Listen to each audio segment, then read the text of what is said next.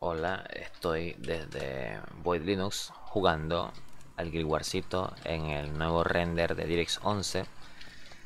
La desgracia es que no puedo utilizar FSR, no entiendo por qué no funciona con el render de DirectX 11 aquí, por lo menos en Guild Wars.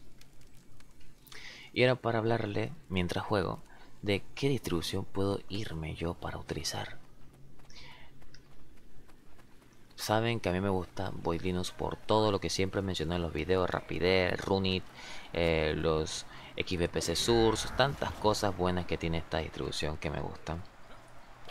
Pero hay una cosa que me molesta bastante, que es que a veces para yo instalar algo tengo que hacer un pacto con el diablo porque resulta que el paquete no está y tengo que compilar algo o hacer algo extra. Justo se vio con lo de el hacerlo lo del Virt Manager para que aceptara como el WEFI y la cuestión así. Tuve que hacer toda una serie de cosas adicionales para poder hacer lo mismo que haría normalmente en otra distribución sin problema. Otra cuestión es lo de factor eh, nombre de paquetes. Me di cuenta que esa es una, esa es una regla. Que si el paquete fuente comprimido se llama, por ejemplo, tunar con T mayúscula, así mismo se va a llamar el nombre del paquete cuando ya esté compilado.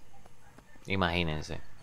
Y por eso ustedes ven que hay paquetes totalmente en mayúscula, otros en minúscula y así. Y eso a mí me molesta un poco, porque es como una persona que no sabe cuando vaya a entrar o cuando vaya a intentar instalar la distribución, se va a llevar con ese puñete en la cara. Y eso es lo que se refleja en el, subreddit de Linux. Eh, vengo de tal distribución y quiero instalar este paquete, pero en Void Linux no está. Y viene una persona muy paciente y le dice, mira, así se llama, ya. Y la gente dice, oh, nada más falta una letra mayúscula, ¿por qué lo hacen? Y ahí donde no, porque así me atraganto. ahí donde vienen y entonces, oye, dan la razón. Si por hablar mal de Void Linux me, van me, me iba a llevar vacío y le explican qué sucede.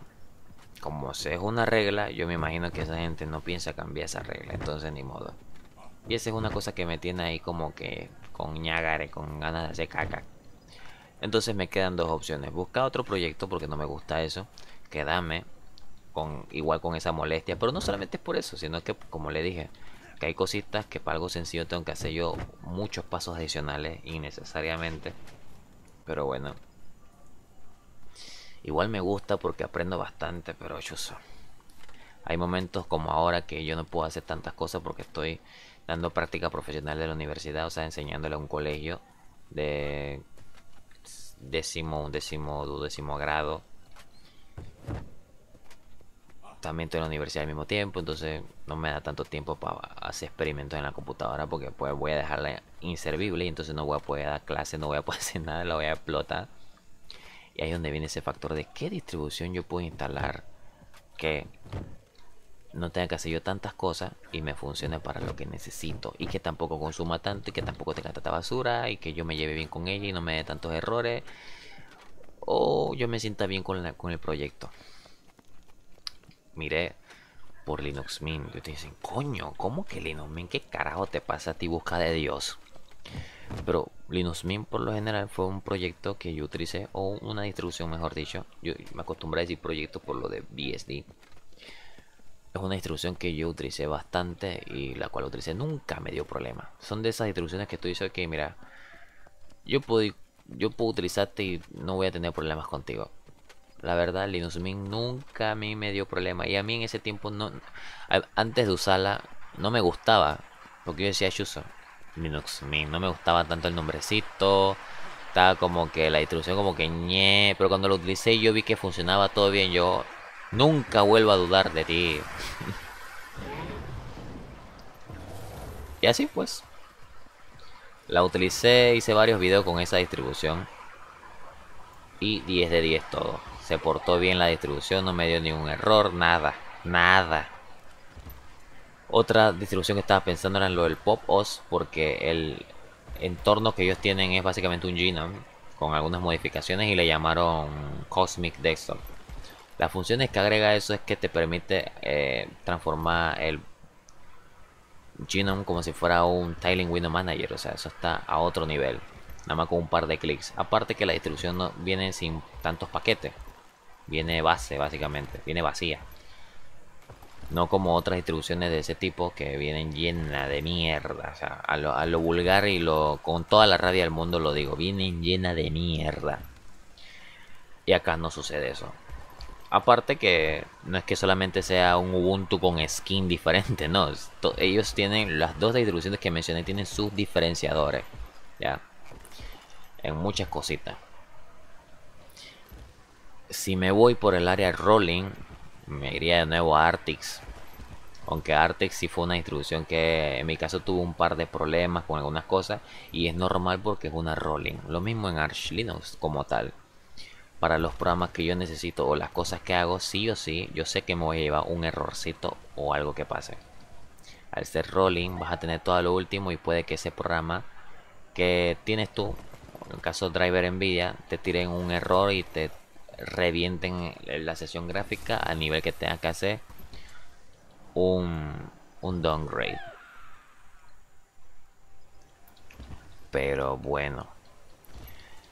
Eh, si me voy por el área de Debian, en el área de Debian me gusta bastante porque casi todos los paquetes van a estar para Debian, los mentados .deb después de los RPM.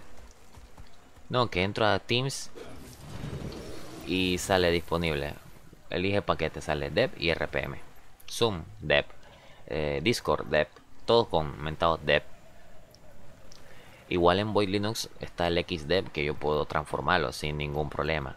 La única ventaja en el caso de Debian como tal es que el dev ese también instala un repositorio y ya yo puedo actualizar el paquete eh, sin necesidad de descargarlo de nuevo y reinstalarlo de nuevo. O sea, no. Entonces es una super ventaja en Debian. Aparte que es una de las más estables, pero así mismito como es una de las más estables, también es una de las más antiguitas en cuestión de versiones de paquetes ese es un problemita que yo vería Dame entrar a esta área del mapa que es bien mal optimizada para ver cómo va lo de cuestión de render y esto sí aparte que los paquetes estarían muy desautorizados si yo quiero instalar los drivers de nvidia en debian o en debian tengo que hacer pacto con el diablo no mentira instalarlos manualmente o sea que si sale una versión nueva adivinen qué tengo que hacer sí señores a cada rato sale una versión nueva y yo tengo que instalar esa versión a lo manual. No puedo hacer un update, no puedo hacer nada de esa vaina. En el caso de la Ubuntu, como ellos tienen sus repositorios, que se me olvida cómo se llaman esos repositorios, los ppt, los ppt-get, no sé qué. Sí puedo actualizarlo más rápido que en Debian, así nada más con un update normalito pero en Debian no, tengo que volver a descargarlo, ta ta ta. O sea, instalación manual. Salime, entrar a la TTY, instalar, taca taca, hubo jiji. Tiene que, what is this? Ajá. Eh, pero ya en, en cuestión paquetes y otras cosas no tengo problema. Versiones, compilar, otro problemita. Si en Debian los paquetes para compilar están desactualizados, están en la versión 3.6 y lo que necesito yo es la versión 3.7, ya no puedo compilar el paquete. A menos que yo tenga otra opción de intentar compilar algo, o sea, compilar los paquetes que son para compilar. Usted está escuchando esa locura. O descargar los paquetes de, la rama testing o cambiarme tal cual a la rama testing para que se parezca un poco a la rama de Ubuntu. O no sé, creo que esa sería la, opción más coherente. Aparte que no me gusta Debian o Debian o lo que sea, las ambas, es que como es Debian tal cual, él te va a instalar un paquete, pero te va a instalar lo recomendado. ¿Por qué lo recomendado? Para que el programa no te funcione mal pero eso se presta para que le instale cosas que ni al caso, o sea, que tú en tu vida vas a utilizar. ¿Qué pasa con esto? Son más paquetes instalados y en algún momento cuando tú quieres desinstalar esos paquetes que entre comillas, no, o sea, tal cual no vas a utilizar, él te va a decir, si vas a desinstalar esto, se va a desinstalar toda esta cuestión. Como si ustedes instalan Debian con XFCE. Desinstalen XFCE para que ustedes vean lo que le va a pasar.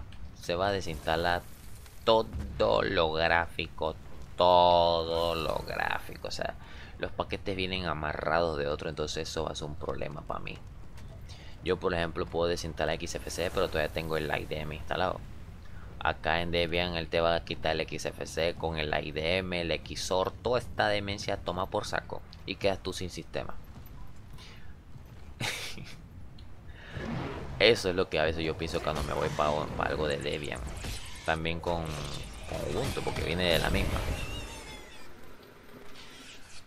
O ya me queda lo último que sería incursionar en otros proyectos. Pero es difícil, difícil hacer eso porque coño, tengo que aprender ¿no? cómo funcionan muchas cosas. Entonces verdaderamente no sé qué hacer. Factor juegos, por lo menos en Debian, Debian sí yo veo que yo no, he tenido problema con eso.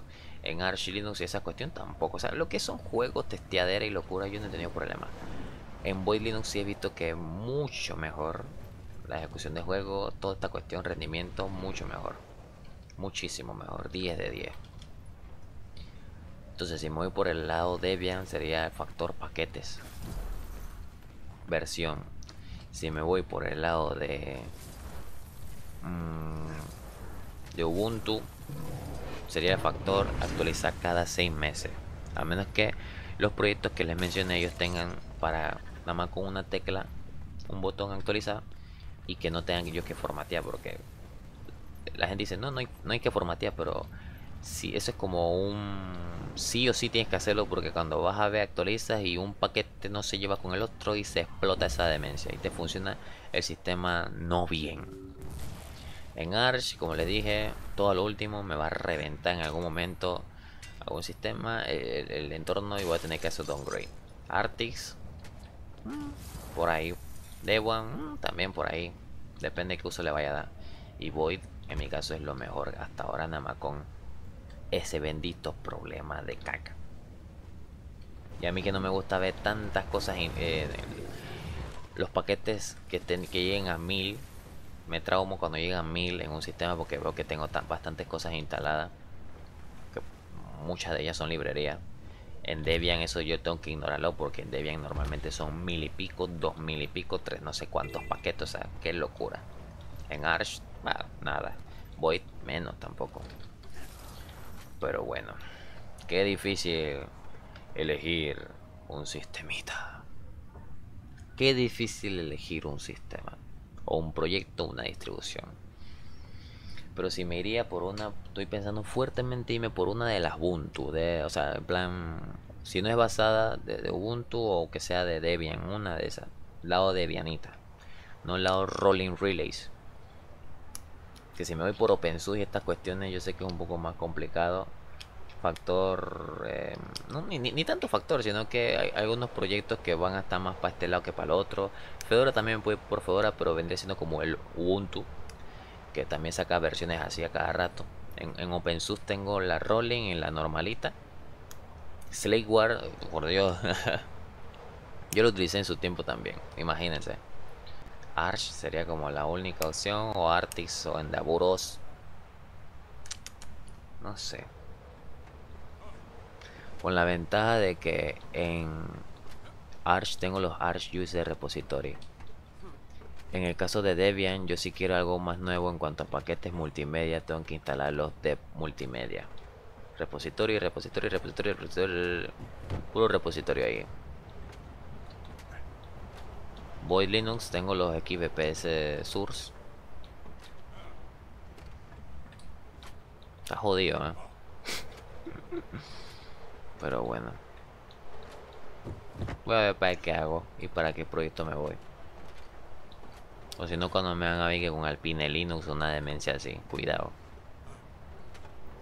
Pero bueno. En su caso, ¿qué distribución ustedes eligieran o en qué distribución ustedes están? A mí no me gustan las basadas por lo general porque vienen cargadas de mierda. Hay basadas que valen, que son caca, la verdad. A mi parecer hay muchas basadas que son caca. Hay unas basadas que no me gustan, pero si, si están de primera es porque a la gente le gusta.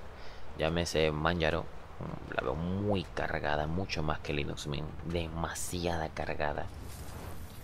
Demasiado se pasan. Pero no es mala la distribución, pero se pasan con demasiadas cosas. Me recuerda a Windows en cuanto a tantas cosas que tiene instaladas y servicios en segundo plano. Eh, pero bueno. Muchos pensamientos vienen a mi cerebro. Hasta MX Linux, pero a mí no me gustan distribuciones así. Ya es más personal, ¿no? Estoy diciendo que MX Linux sea una mala distribución. Es buenísima incluso. Es buenísima el proyecto. Bueno, espero que les haya gustado el video. Déjenme en sus comentarios de qué opinan. Por qué les gusta más, por ejemplo, tal que tal. No sé si les mencioné, pero la comunidad en inglés se va por pura rolling y puro minimalismo. Tiling Window Manager. Y la comunidad en español se da por puros entornos pesaditos, KDE, con una basada, llámese Linux Mint, llámese Manjaro, llámese pura cosa rara. La Respin, por ejemplo, Locos, que la escucho por ahí a cada rato. que recomiendan Locos, yo, esta gente, Dios mío. Locos no es mala, lo único que nada más es algo para tener una distribución. O sea, lo mismo pero más barato, en plan una distribución más sencillita. Una basada de la basada de la basada. Y así pues utilizan más basadas en, la comunidad en español. Pero bueno. ¿Qué opinan de eso? Espero que les haya gustado el video. Ya saben cómo se mueve esto. Compartiendo. Y hasta luego.